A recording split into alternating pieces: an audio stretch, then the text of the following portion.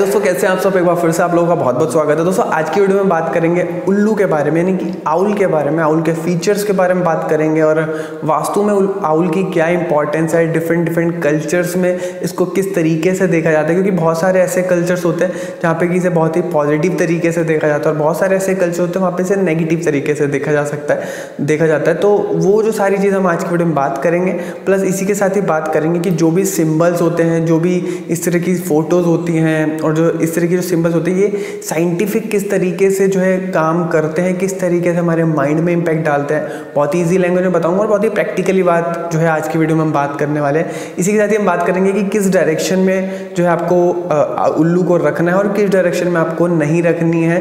और अगर हम बात करें इंडियन वास्तु के अंदर तो इंडियन वास्तु में आउल की क्या इंपॉर्टेंस है और इसके क्या क्या फीचर्स है? तो ये सारी जो चीज़ें आज की वीडियो में हम बात करेंगे। तो दोस्तों, चलिए आज की वीडियो शुरू करते हैं। एक जैसे क्रॉस का सिंबल है तो वो जो सिंबल है वो क्रिश्चियन के लिए काम करेगा, वो हिंदू या मुस्लिम के लिए काम नहीं करेगा। और इसी तरीके जो ओम का सिंबल है, वो हिंदुज़म के लिए काम करेगा, जो हिंदू में जो बिलीव करता होगा उसके लिए काम करेगा। सेम सिंबल जो है वो किसी और रिलीजियस के लिए काम नहीं करेगा। ऐसा कैसे? देखिए, जो भी बंदा होता है, उसके बचपन में किस तरीके से माइंड की कोडिंग करी गई है, उसी के अकॉर्डिंग जो है उसका एक बिलीफ सिस्टम बन जाता है और उसी, उसके लिए जो है इस तरीके से चीज़ें काम करती हैं। तो एक तो पहला जो हो गया ये चीज़। और दूसरा आपने बचपन में जो है बहुत सारी बार जो है आपको आपने सुना होगा कहते हुए कि हमारे दादा, दादी या फिर मम्मी पापा कहते हैं कि अच्छा देखो, बुरा मत देखो।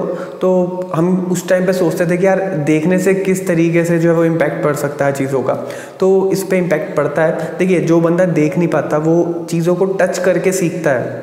कुछ भी सीखना होता है, कुछ भी लर्निंग करनी होती है तो जो भी हमारे फाइव सेंसेस हैं ना, चाहे वो आँख हो गया, कान हो गया, नाक हो गया और टंग हो गई तो ये जो सारी चीज़ें हैं, इन सब चीज़ों से जो है मतलब जो फाइव सेंसेस हैं, हम चीज़ों को जो है ऑब्ज़र्व करते हैं ऑब्ज़र्व और जो चीज़ों को जो वो फील करते हैं, चीज़ों को एक्सपीरियंस करते हैं। तो इसी तरीके से जैसे मान लिया आपने कोई भी सीनरी लगाई, कोई भी फ़ोटो लगाई, जैसे कि आपने अपने घर में मान लिया फॉर एग्ज़ाम्पल अगर ए पी जे अब्दुल कलाम की फ़ोटो लगा रही है तो उसको देखने से आपके माइंड में किस तरीके से थाट्स आएँगे और इसी तरीके से अगर आपने किसी हीरोइन की तस्वीर लगाई हुई है तो उसको देखने से जब वो किस तरीके से आपके माइंड में थॉट्स आएँगे?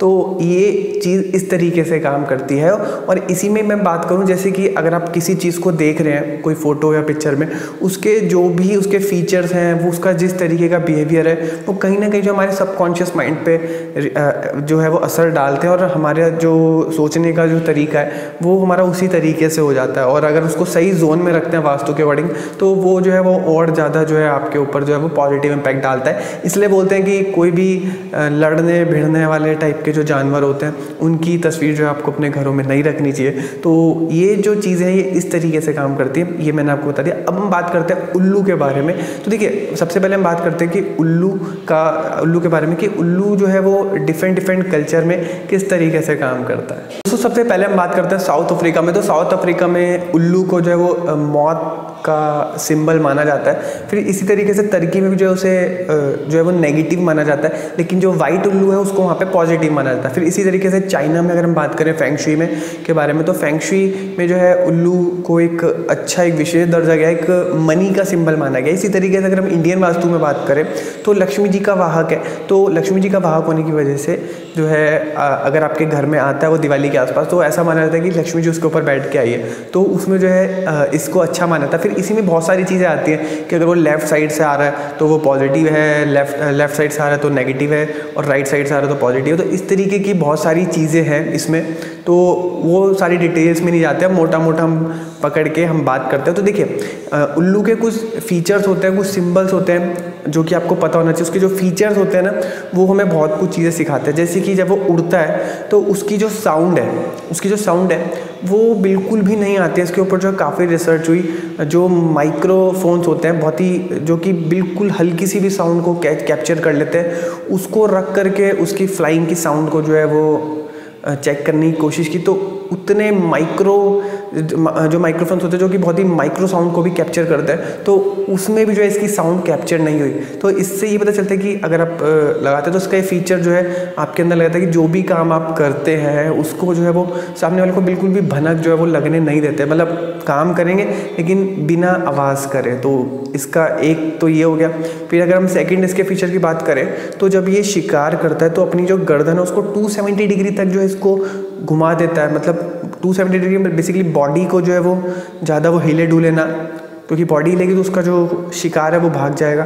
तो 270 डिग्री अपनी गर्दन को बेंड कर देता है और अपने शिकार को बिल्कुल भनक भी नहीं लगने देता। दोस्तों, बात करते हैं कि इसको आपको किस डायरेक्शन में लगाना चाहिए और किस डायरेक्शन में नहीं लगाना चाहिए। तो इसको आप जो नॉर्थ ईस्ट डायरेक्शन में लगा सकते हैं। मनी के हिसाब से बहुत ही अच्छा है। फिर सेकेंड जो इसकी डायरेक्शन है वो साउथ ईस्ट है, जिसमें कि आप इसे लगा सकते हैं।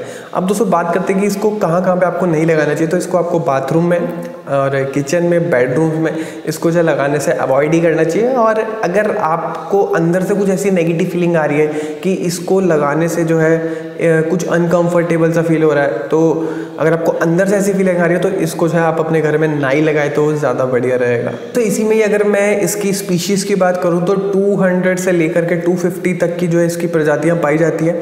और कुछ को जो है वो पॉजिटिव के अंदर रखा जाता है, कुछ को नेगेटिव के अंदर रखा जाता है। तो वो सारी चीज़ें मैटर करती हैं। दोस्तों इसी में एक बहुत ही इंपॉर्टेंट बात और बताता हूँ आपको कि पुराने टाइम पर क्या होता था कि हम जो पुराने लोग जो होते थे, वो उल्लू को देख करके टेम्परेचर का पता लगाते थे कि अगर उसके पंख में ह्यूमिडिटी है, यानी कि उसमें हल्का सा जो है वो सूखे हुए से तो मतलब कि टेम्परेचर बढ़ने वाला है, यानी कि गर्मी आने वाली और अगर उसके जो पंखों में मॉइस्चर है तो मतलब कि बारिश आने के संकेत है। तो ये कुछ चीज़ें थी दोस्तों, जो कि मैंने आप लोगों को बताई हैं। और अगर आप मुझसे पर्सनल कोई क्वेश्चन पूछना चाहते हैं तो आप मुझे इंस्टाग्राम पे फॉलो करके मेरे को वहाँ पे मेरे से क्वेश्चन पूछ सकते हैं आउल के रिगार्डिंग वास्तु के रिगार्डिंग और क्या क्या उसके चीज़ें हैं और सिंबल्स किस तरीके से काम करते हैं। तो उम्मीद करता हूँ कि ये जो इन्फॉर्मेशन आपको अच्छी लगी होगी, अच्छी लगी तो उसको लाइक कर सकते हैं और आपका कोई भी क्वेश्चन इस टॉपिक के रिगार्डिंग तो आप नीचे कमेंट बॉक्स में पूछ सकते हैं वीडियो देखने के लिए। बहुत बहुत धन्यवाद। चाहे हिंद, वंदे मातरम।